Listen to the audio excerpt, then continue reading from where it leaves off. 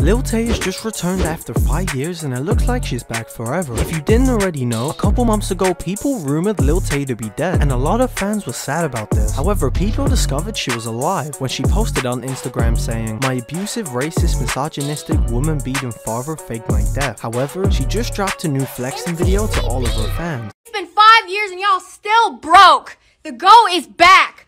Five years and I'm still the youngest one out. Five years and y'all are still broke. So don't take it out on me. Why the fuck are y'all coming at me for? Y'all hating ass bitches were hating on me when I was nine years old. Talking all this shit when you don't fucking know me. So stop fucking talking. You did not come up. You had five years to come up and you didn't. So don't blame me, bitch. Five years.